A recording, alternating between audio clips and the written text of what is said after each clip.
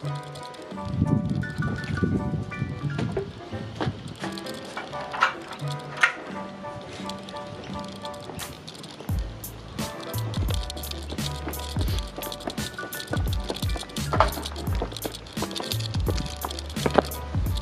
back player, balik lagi. Welcome back player, balik lagi di video vlog gue Novel Stars. Hari ini tanggal 21 Mei 2019 Apakah betul mobil yang udah pernah dicet harganya jatuh? Apakah lebih baik kita ngebiarin gores atau penyok yang ada di mobil Daripada ngecat ulang dan menjadikan cat tersebut nggak original? Jawabannya bakal ada di video ini, pastiin lo nonton videonya sampai habis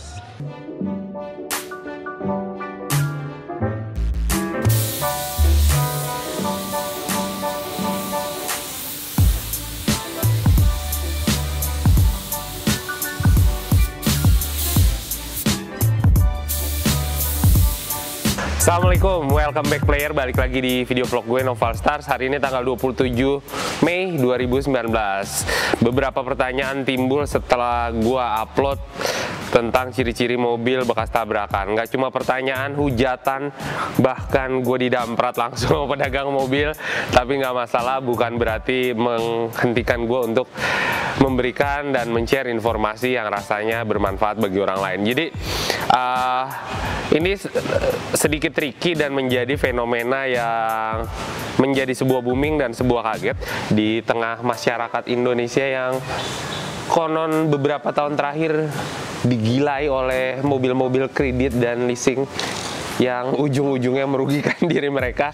Jadi itu uh, sempat beredar di pasaran bahwa yang namanya mobil kalau udah pernah kena kena nih kena apa nih? Kena air atau kena oli atau kena apa konon harganya jatuh. Cuma kan nggak nggak nggak begitu jelas.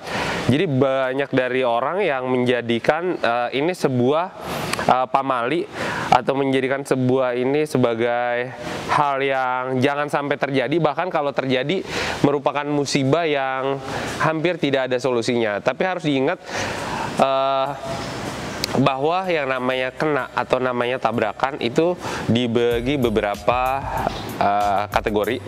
Itu hari ini gue bakal jelaskan terbagi dalam tiga kategori. Ini kategori yang pertama yaitu tabrakan sedang Oh, sorry. Kategori pertama itu tabrakan ringan, yang kedua tabrakan sedang, yang ketiga kategorinya tabrakan berat.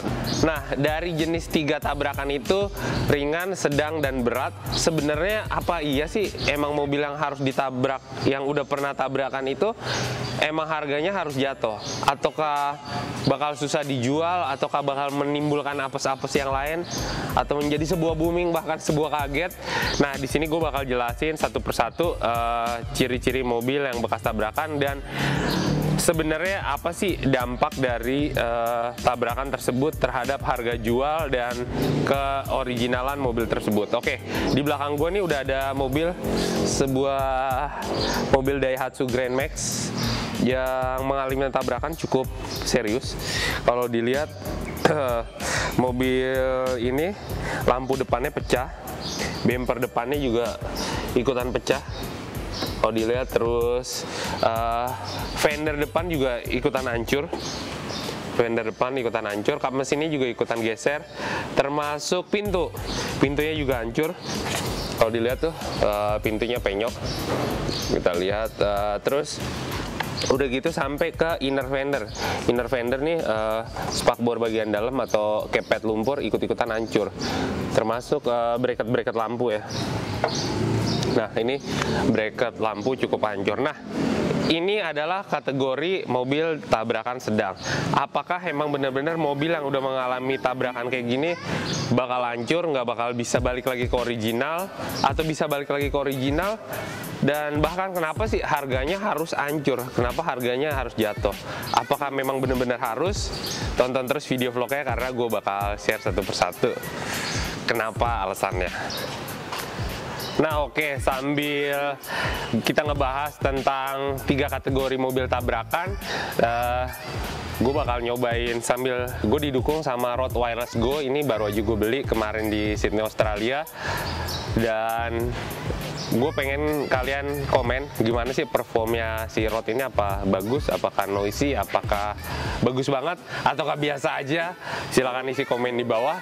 Oke berikutnya kita bakal masuk ke kategori mobil yang pertama yaitu mobil dengan uh, luka ringan atau lecet. Nah, mobil kategori ini sebenarnya uh, ini adalah hal wajar terutama di mobil-mobil niaga atau mobil-mobil city car umum banget terjadi itu adalah hal yang rumrah, adalah hal yang wajar. Nah, uh, kenapa ini sering banget terjadi? Karena mobil ini adalah terkategori mobil-mobil harian, bukan mobil yang untuk dikoleksi atau mobil weekend. Ini adalah mobil daily use.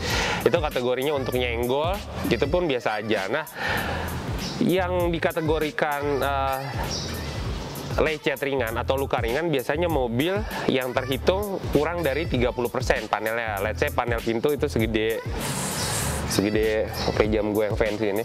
Segede gini totalnya. Nah, 30% itu dibagi aja ya. Kalau misalnya dibagi 4 berarti kan 25 25, berarti lebih gede. Berarti uh, kurang dari 30% hancurnya itu masih dikategorikan uh, sedang. Di bawah itu itu kategorinya ringan. Jadi artinya mobil yang panelnya rusak atau catnya lecet uh, kurang dari 30% uh, itu terkategori mobil yang masih bisa diperbaiki dan akan mendapatkan hasil yang maksimal untuk di repair. Nah, berikutnya kita bakal menuju ke mobil dengan kategori sedang. Nah, mobil kategori sedang itu sudah menginjak 30% atau 30% up. Jadi dari misalnya total gede kap mesin itu satu kali satu meter, kalau misalnya lebih dari 30 cm yang kena atau yang penyok atau yang bergeser ataupun yang berubah tidak sesuai pada umumnya itu dikategorikan dengan kategori sedang. Nah, Biasanya kalau kategori sedang ini uh, menyebabkan panel lainnya juga ikut rusak dan ikut bergeser karena mobil adalah uh, susunan dari panel-panel yang dirakit bareng, diassemble bareng. Oke, berikutnya lagi dengan kategori uh, mobil dengan uh, penyok parah.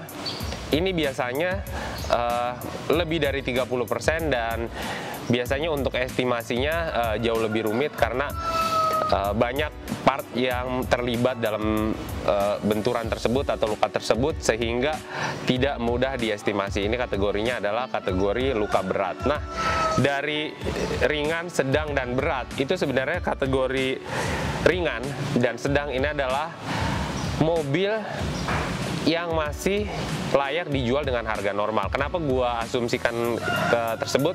Karena mobil dengan kategori tabrakan ringan atau penyok ringan panelnya bisa diganti. Artinya panelnya replaceable. Di beberapa panel yang memang bisa diganti itu akan kembali ke sempurna seperti awal. Tapi mobil yang uh, masuk ke kategori berat itu adalah mobil yang tidak bisa diganti panelnya umpama uh, panel sasis.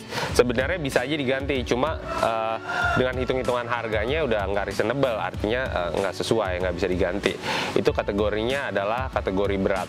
Sebenarnya kenapa sih mobil-mobil uh, yang pernah nabrak atau pernah keserempet atau pernah accident kenapa harganya jatuh? Yang pasti itu adalah uh, disebabkan ketidak originalan cuma harus diingat pada awalnya mobil masuk ke Indonesia adalah benda mewah. Awal-awal tahun 30, 40, 70 hanya orang-orang kaya yang bisa memiliki. Tapi makin ke sini mobil adalah benar-benar alat transportasi dan kendaraan niaga kalaupun catnya original nggak nggak original sebenarnya tidak jadi masalah.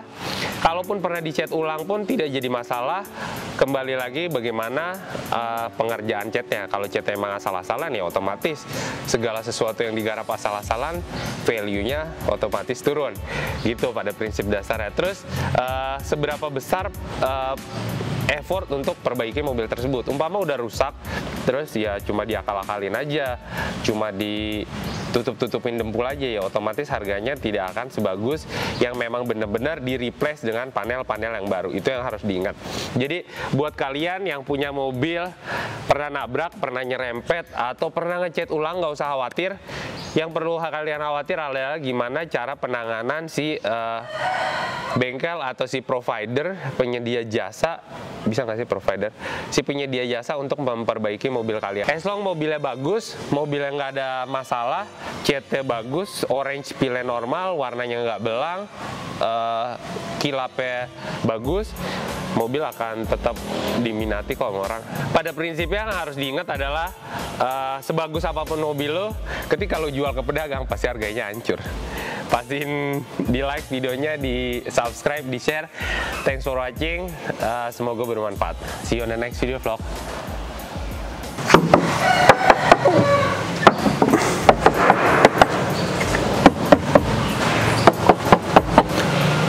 Udah pernah kena ya? Iya nih kayaknya udah pernah kena nih. Jetnya juga udah nggak ori. Nggak berani saya kalau harga segitu.